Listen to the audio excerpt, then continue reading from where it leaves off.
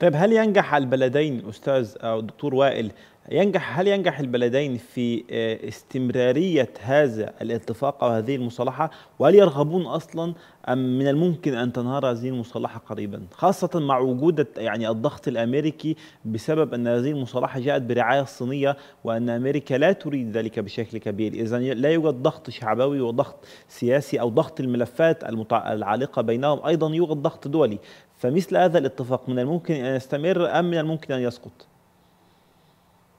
حقيقة حجم الفجوة بين الطرفين كبيرة وهائلة جدا سواء في العراق أو في سوريا أو في لبنان أو في اليمن كبيرة وهائلة جدا جدا. هذا يتوقف نجاح هذا الاتفاق أو الذهاب به نحو مزيد من التطوير. هو رهن رهن بناء الثقة بين الطرفين في المرحلة المقبلة ولذلك تم إعطاء مهلة.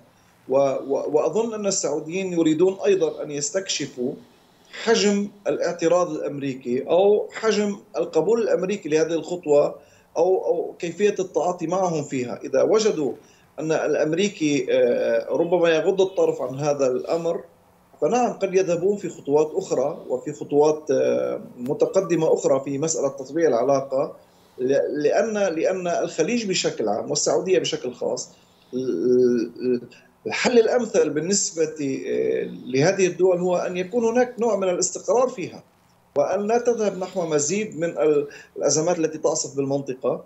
وبالتالي آه، يستكشفون حجم الرد الأمريكي، إذا وجدوا أن الرد الأمريكي متواضع فنعم قد يذهبون باتجاه تطبيع مزيد من العلاقة مع إيران وإرساء مزيد من الاستقرار في المنطقة. والإيرانيين أيضا آه، يهمهم في هذه المرحلة أن تجري مثل هذه الخطوات. أمام الضغوطات وأمام حجم العقوبات التي تمارس عليهم والحصار المفروض عليهم والأزمة الداخلية التي تعصف بإيران أيضا.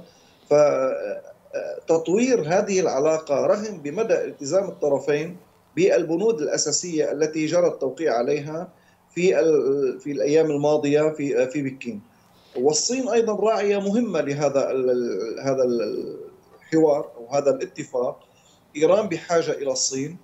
والسعودية أيضا تريد أن توازن بعلاقتها أيضا على المسرح الدولي بين حليفتها الأساسية أمريكا وبين أيضا القوى الدولية الأخرى وفي مقدمتها الصين وروسيا.